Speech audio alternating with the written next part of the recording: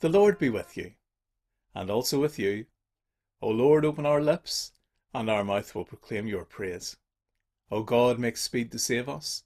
O Lord, make haste to help us. Glory to the Father, and to the Son, and to the Holy Spirit, as it was in the beginning, is now, and shall be forever. Amen. Praise the Lord. The Lord's name be praised. There are some questions as a curate uh, that you don't want to be asked that you might go to the vicar to be helped with. One of those big questions is, why me? We've maybe maybe all of us at some point or another have asked that question. Why me? And there is just no easy answer to that. You know, when I was at college, we spent much time discussing what it meant for people to suffer and for the things in life that really hurt us and make make the going tough. And none of us were able to answer those questions. And indeed, the greatest Christian thinkers of all time have been unable to give a simple answer. Perhaps in the end, all we have is that suffering is made possible to bear through love. The love of our family, the love of our friends, and most importantly, the love of God. A reading from Job 29.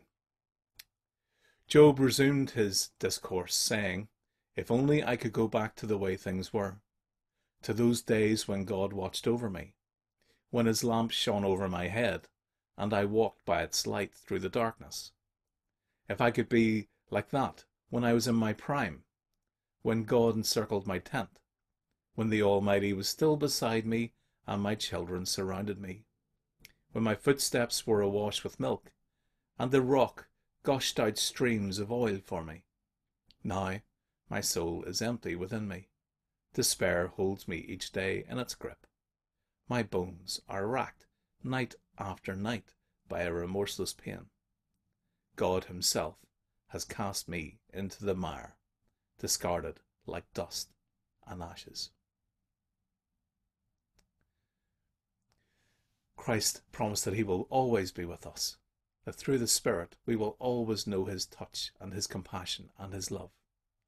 The experience of Job is not the experience of the Christian, but the reality of suffering is a challenge we all face at one time or another. Let us pray. Gracious God, you came to our world through Jesus Christ, and despite everything that conspired against you, your love continues to shine through him. You conquered the forces of evil. You overcame the sting of death. And you brought joy out of sorrow, hope out of despair. Teach me, whatever I may face, to hold on to that truth, confident that you will always lead me out of darkness into your marvelous light.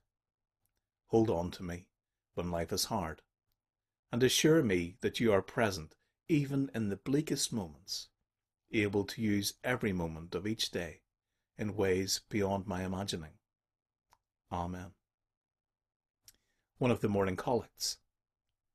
Go before us, Lord, in all our doings, with your most gracious favour, and further us with your continual help, that in all our works begun, continued, and ended anew, we may glorify your holy name, and finally by your mercy attain everlasting life. Through Jesus Christ our Lord. Amen. Our Father, our Father who art in heaven, hallowed be thy name.